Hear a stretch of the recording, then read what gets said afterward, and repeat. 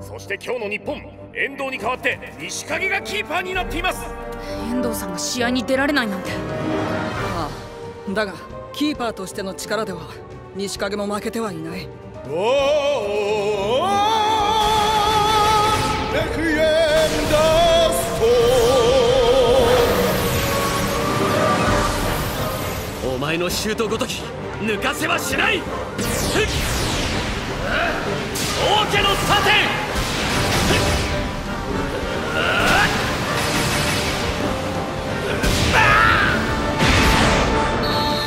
またもや決まってしまった。日本は痛恨の追加点のゴールを奪われた。俺の出る幕はなさそうだな。野坂さん俺は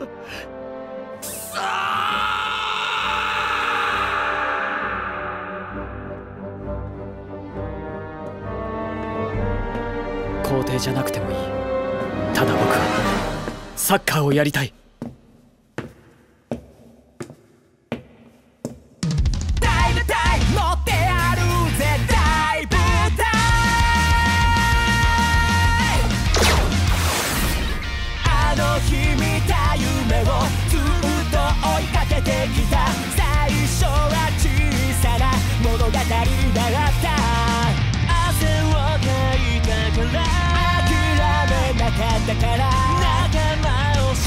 っては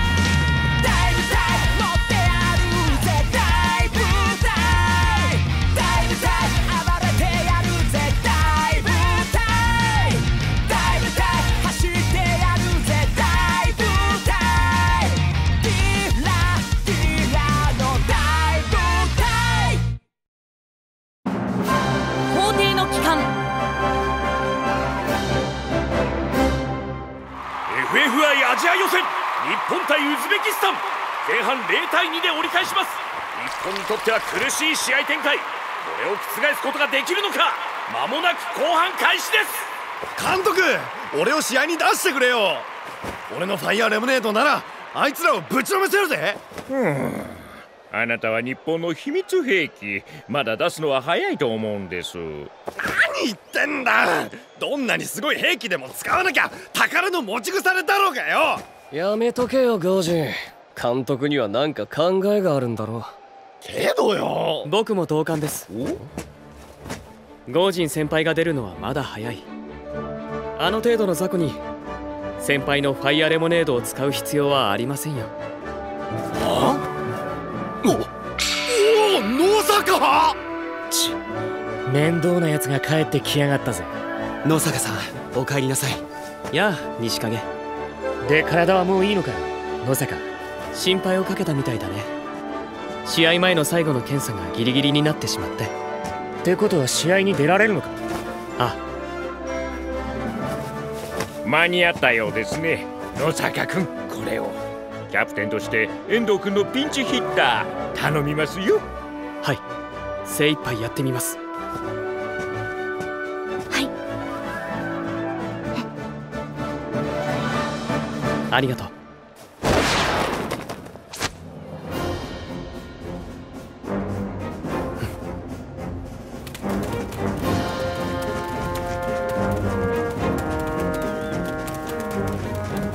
すいません野坂さん。2点も許してしまいました。ああそれくらいどうってことないよ。檜山達也に代わって今大会初出場の野坂優馬が入っています。病気療養と聞いていましたがついに復帰できるようです。後半日本は2点のビハインドを跳ね返すことができるのか？野坂さんとフィールドに立った以上ゴールは決めさせない。野坂さん俺の力を見てください。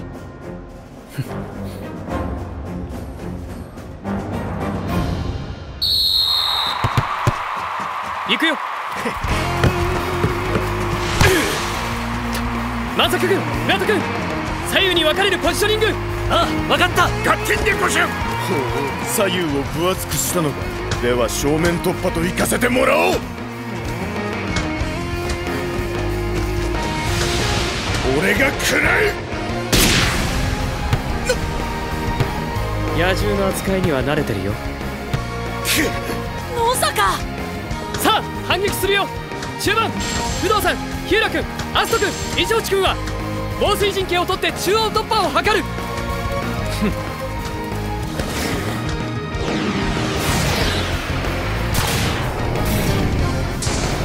王者のタクト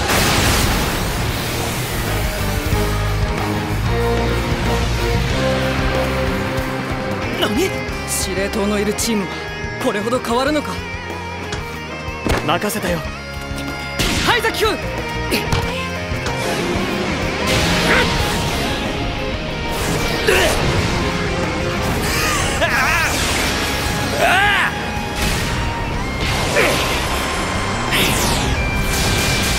ンギンザ！ゴッド！アンドデビル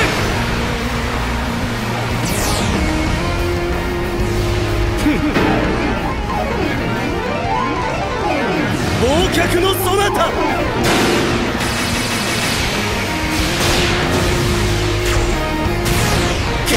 1オクターブ高い。ゴール。後半から入った野坂のアシストから灰崎宏斗につなぐ日本らしい形の連携だ。得点は2対1わからなくなってきた。ミスりやがった。野坂優馬彼が入ってから格段にチームの動きが良くなった日本は彼を加えてずる賢い獣になったようだ。どうすればいい？当然邪魔者は排除する。ターゲットは14番野坂優馬。奴が攻撃の起点となっているようだ。排除対象だな。遠藤がいなくなったと思ったら今度はあいつか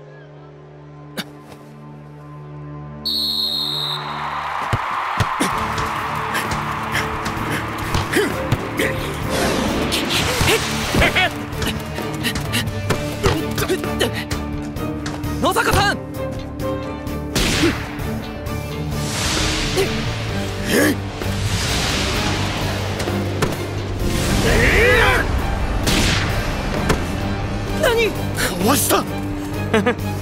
あいつ早い。前半の試合を移動中に中継で見ていた。君たちのやり方は把握している。やっていることが分かっていて。かかるわけがないさ それなら俺がまさか味方から攻撃されるとは思ってないだろう。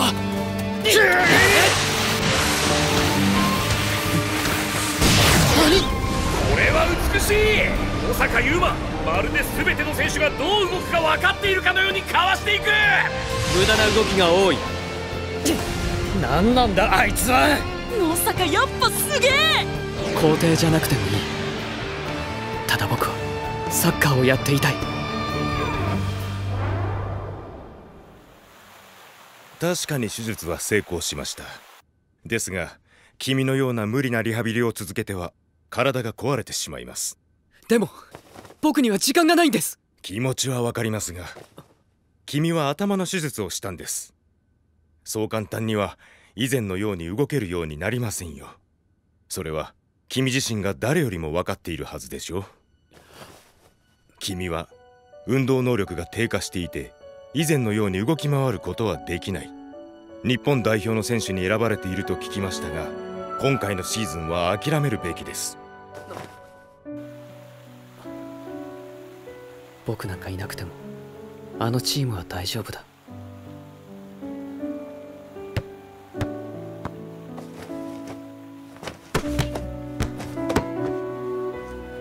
君もサッカーやるのか？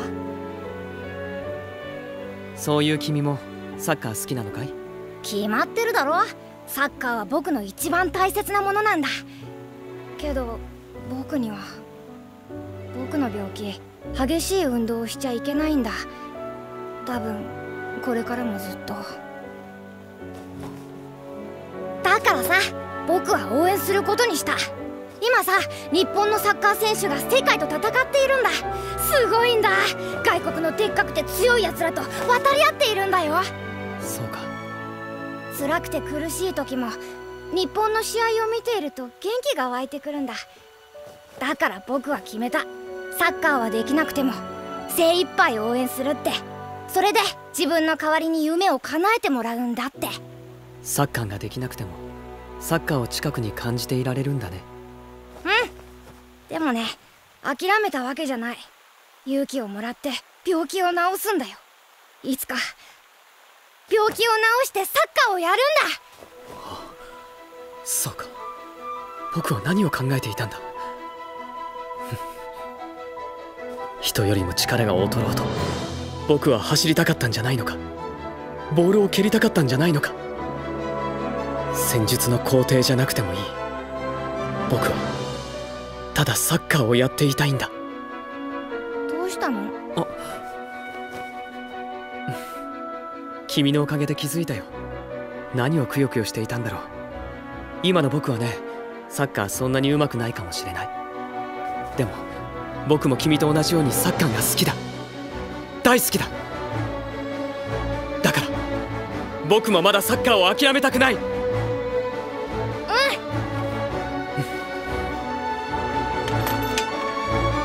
僕は戻ってみせる。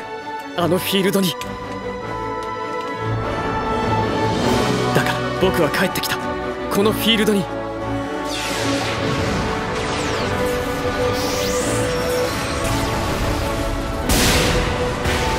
月光までツバメ返し。この程度のメロディーか。止める。忘却のソナタ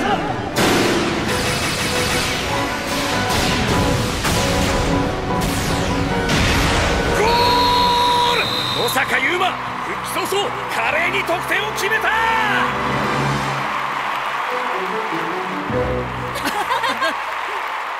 我々は他のメンバーから潰していく。しかし。ああ狙うのは野坂優馬。あいつを潰せば日本のムードは崩れる。共同戦線ってわけだ。敵同士のな。稲妻ゲーム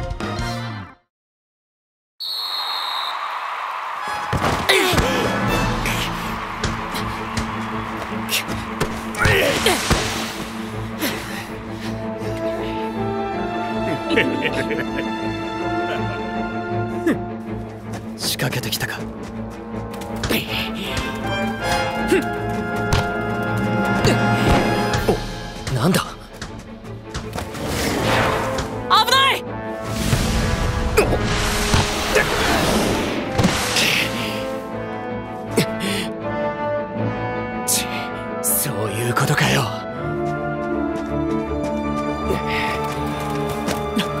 大丈夫かああ致命傷は避けられた。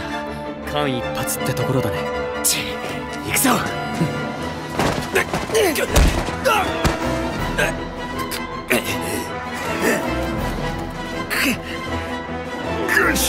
まずいな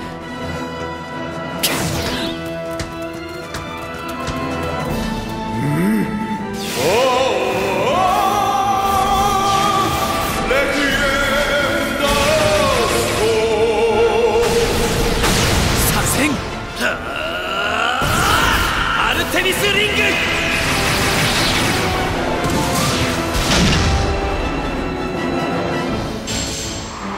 あんな新技を持ってやがったのか。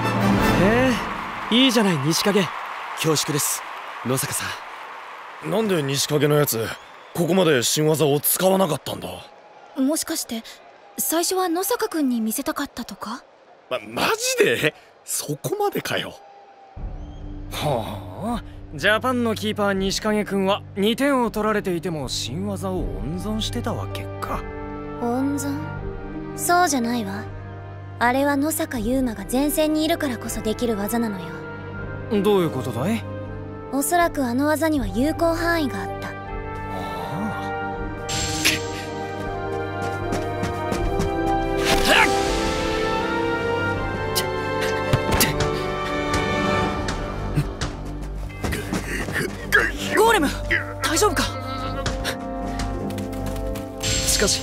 ここまで全員連携でダーティーに来られるとさすがにまずいな。どうやら本性をむき出しにしてきたみたいですね。そのようだな。このチームは全員が組織に染まってるってことか。ここまで来たねえとむしろすがすがしいぜ。しかしすげえのはこれだけやってても観客にも審判にも一切気づかれてねえってことだ。まさか審判も来るか。一体何なんだ。仕方ないでは奥の手を出すとしよう。あ？風丸さんお願いしていた件どうなりました？みんなには新たなタクティクスのトライアルだと説明してある。ありがとうございます。先輩の風丸さんに変なこと頼んですいませんでした。いいさお前が俺を先輩として見ているというのは信じがたいがな。だが俺はお前に期待している。ありがとうございます。では行きますよ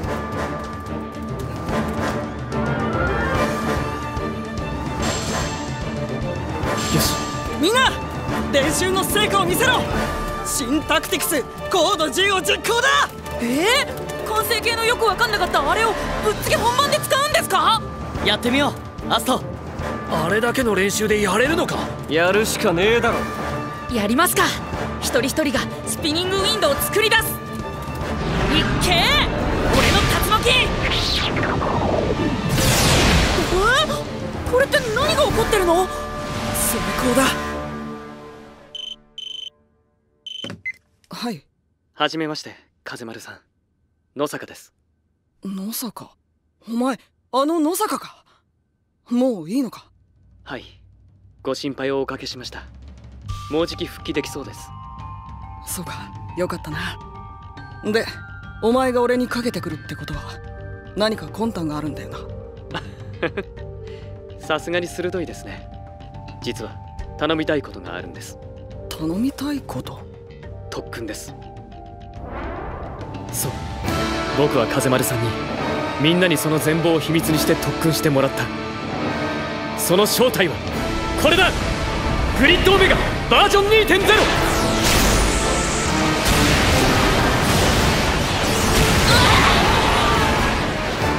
なんだ！何が起こってる？俺たちのあの特訓はグリッドオメガを生み出すためのものだったのか。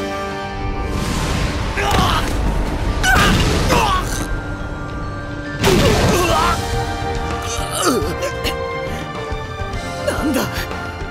何が起こった？まさか俺たちが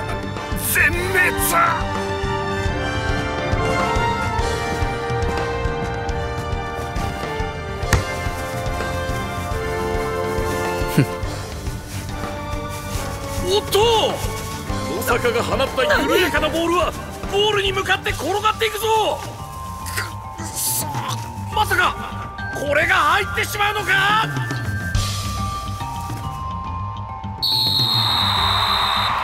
ゴール！日本が逆転！なんということだ！ウズベキスタンは全員がフィールドに倒れた状態。転がるボールを誰も止めることができなかった。くそー！どういうことだ野坂？グリッドオメガ。悪を成敗するためにちょっとずるい技を使わせてもらったよ。グリッドオメガで悪を成敗？どういう理由があれグリッドオメガのためだと知っていたら特訓に身が入らなかっただろしかしそれをここで使うとはな。こういう時にこそ生きる技だと思ってね。確かに。汚いぞ。こんな技を 僕は戦術の皇帝僕の国を攻めてくる敵は誰であろうと叩きのめす。これは公式な世界大会だ。こんなことをしてただで済むと思うなよ。審判見てたか。これは反則だ。前半と主審が違う。お前何をした。さっきまでの主審の人不正なことをしてたのがバレたみたいで急遽交代になったらしい。貴様卑怯だぞ！卑怯だって？笑わせないでもらいたいね。サメが小魚を食らうことを卑怯だと呼ぶのならそうなんだろうね。なんだと！お前たちはこいつの怖さを知らないらしいな。教えてやるよ。こいつはな目的のためなら手段を選ばない冷酷な男だ。灰崎君それは聞き捨てならないな知ってるはずだよ。僕は崇高な目的のために動いている。そういえば君たちには言ってなかったね。僕はこの手で世界を変える。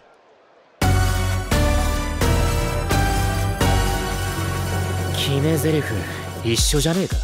野坂優馬。完全復活だな。おかえり野坂。わ突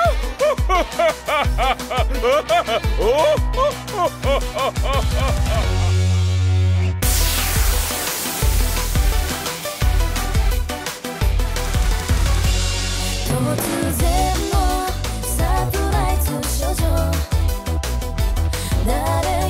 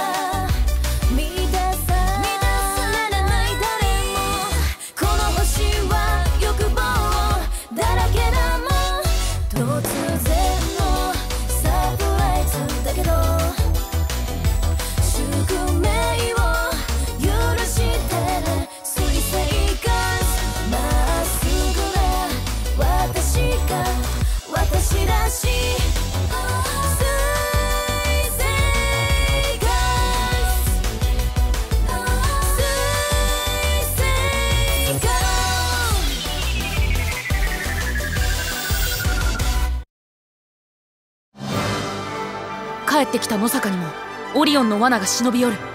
野坂気をつけて。次回「稲妻イレブンオリオンの刻印。皇帝の逆襲」稲妻イレブン今日の格言。